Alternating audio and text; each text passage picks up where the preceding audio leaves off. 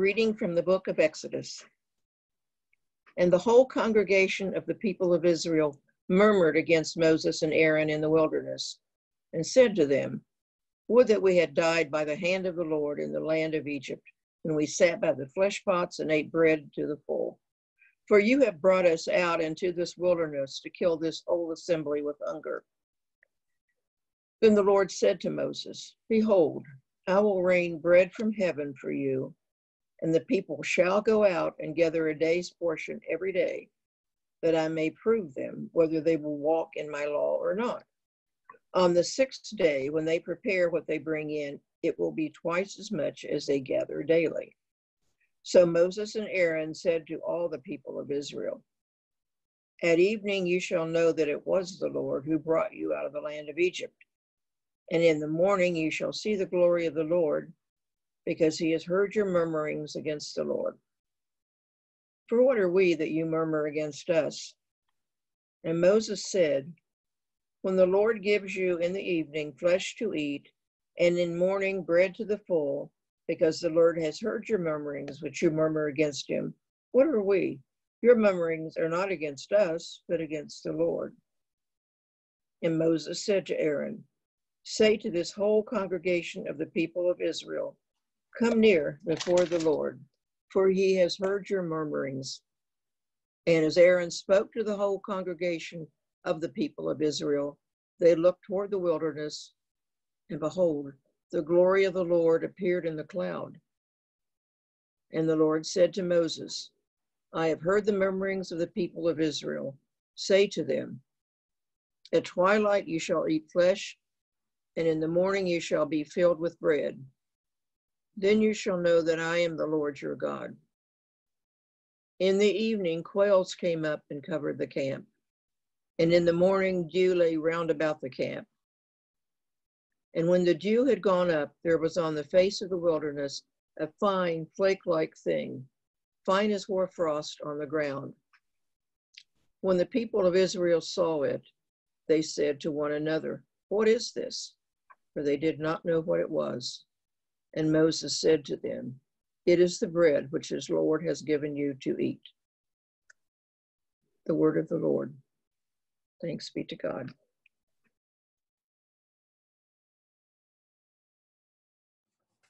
Today, our psalm is Psalm 105, verses 1 through 6 and 37 to 45. Let's read together. Give thanks to the Lord and call upon his name Make known his deeds among the peoples. Sing to him, sing praises to him, and speak of all his marvelous works. Glory in his holy name. Let the hearts of those who seek the Lord rejoice. Search for the Lord and his strength. Continually seek his face. Remember the marvels he has done his wonders, and the judgment of his mouth. O offspring of Abraham, his servant, O children of Jacob, his chosen. He led out his people with silver and gold. In all their tribes, there was not one that stumbled. Egypt was glad of their going because they were afraid of them. He spread out a cloud for a covering and a fire to give light in the night season. They asked, and quails appeared, and he satisfied them with bread from heaven. He opened the rock, and water flowed, so the river ran in the dry places. For God remembered his holy word, and Abraham, his servant. So he led forth his people with gladness, his chosen with shouts of joy.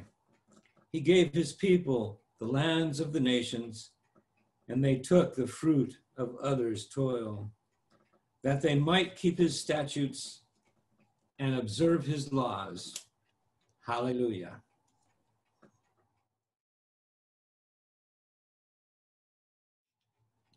Our second reading is from St. Paul's epistle to the Philippians. To me, living is Christ and dying is gain. If I am to live in the flesh, that means fruitful labor for me. and I do not know which I prefer. I am hard pressed between the two. My desire is to depart and be with Christ, for that is far better. But to remain in the flesh is more necessary for you.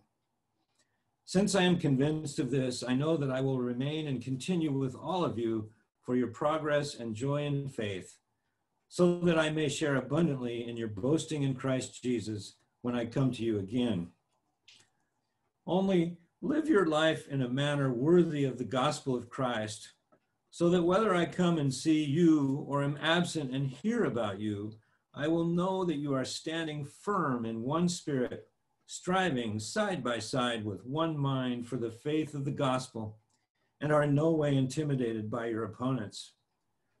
For them, this is evidence of their destruction, but of your salvation.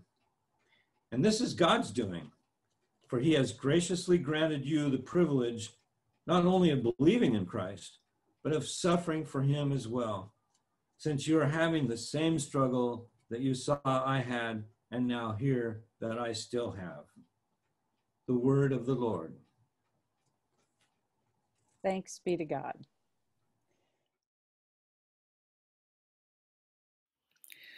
The Holy Gospel of our Lord Jesus Christ according to Matthew. Glory to you, Lord Christ. Jesus said, The kingdom of heaven is like a landowner who went out early in the morning to hire laborers for his vineyard. After agreeing with the laborers for the usual daily wage, he sent them to his vineyard.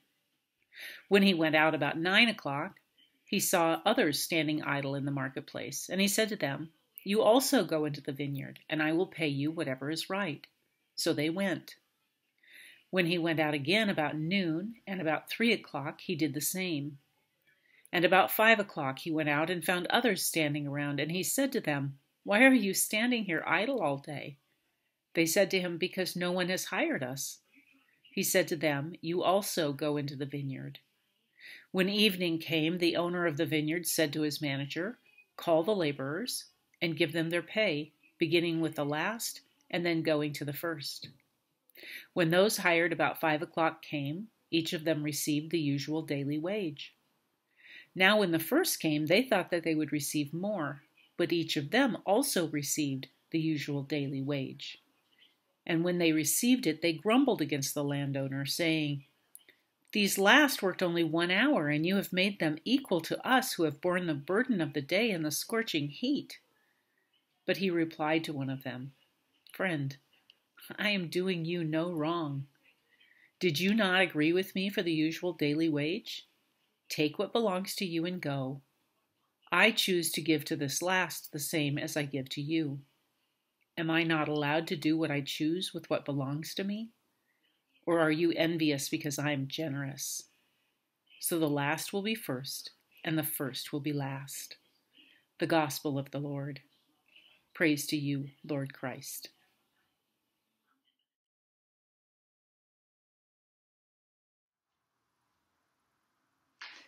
Oh, Hello, St. James. I don't know about you, but I have spent more time crying about the impossibly hard lives of strangers in these past couple weeks than I have since 9 11 and its aftermath. And I'm sure I'm not alone. I'm sure many of you have too.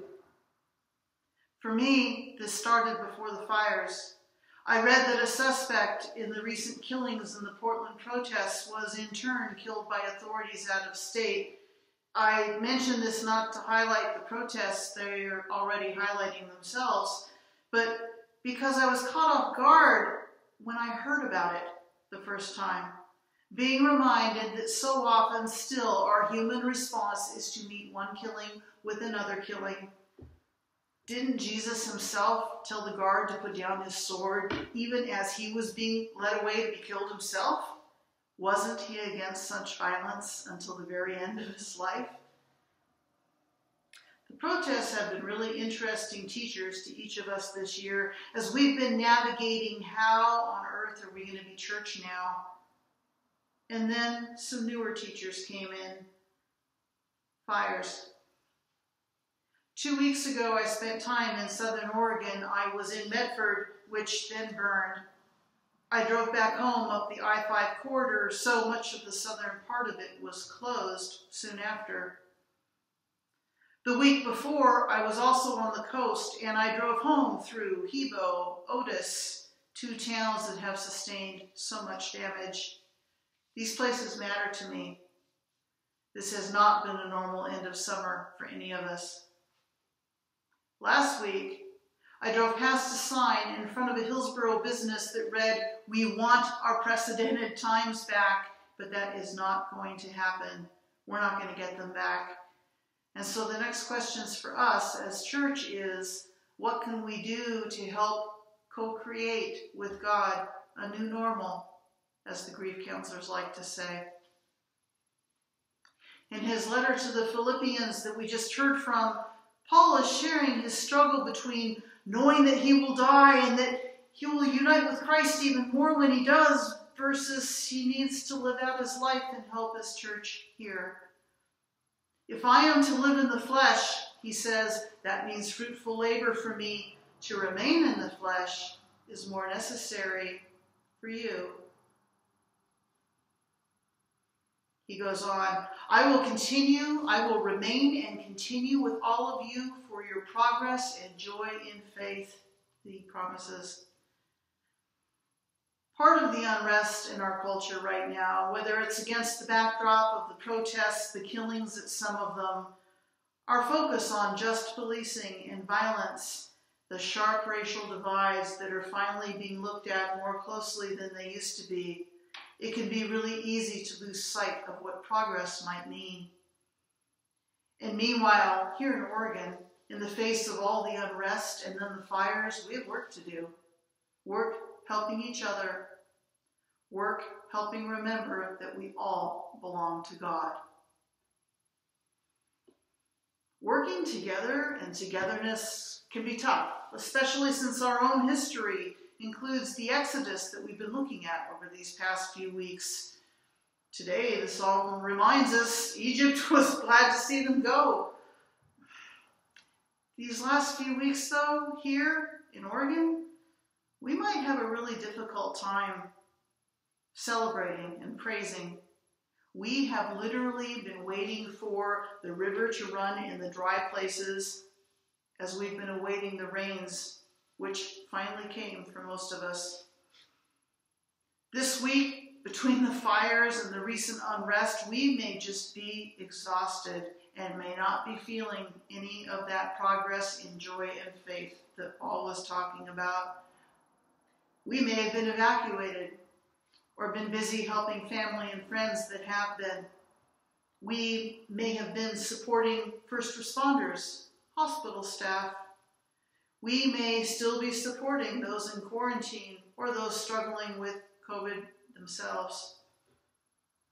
No matter where we stand on the issues of the day, no matter how where we are in trying to make our lives work to figure out what to do in these days of disaster that have been surrounding us, we are all still part of God's church and we are working hard to discern what that means living into it right now.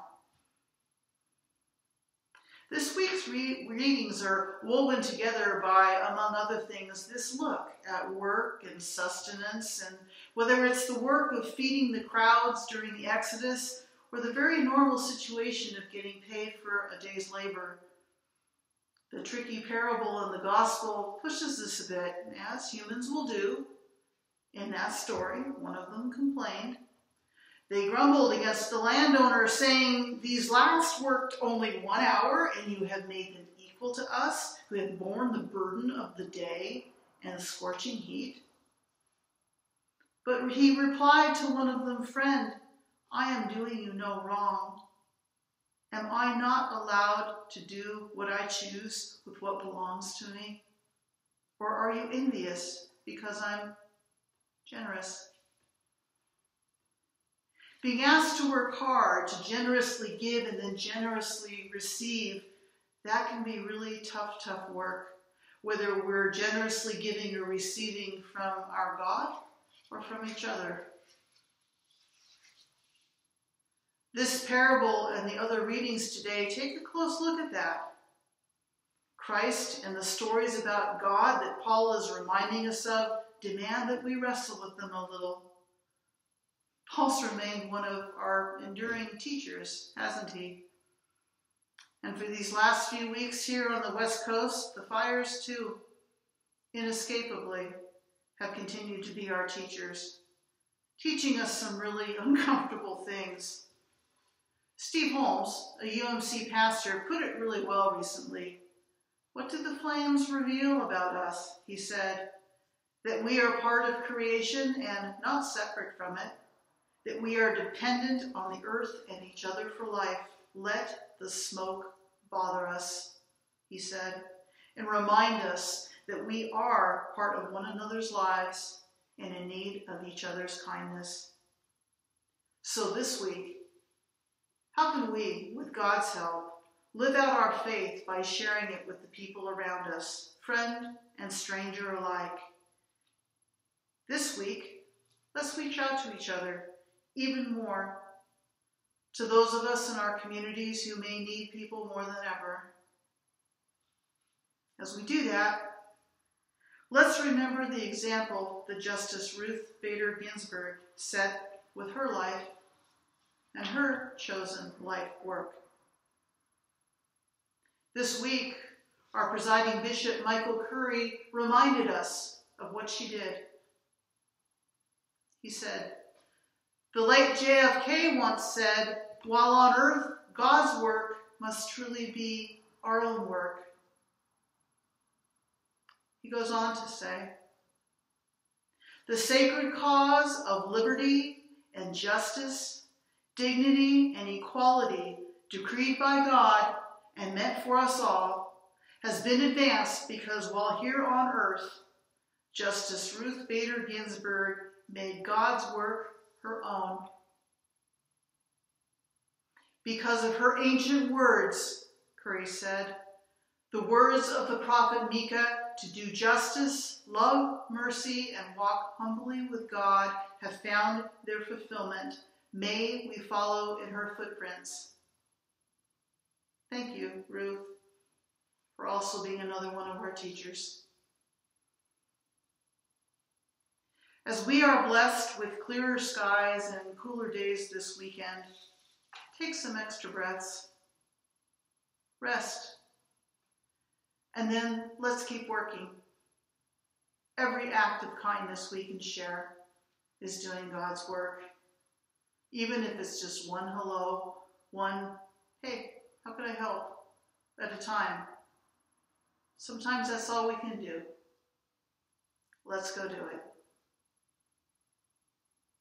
Amen.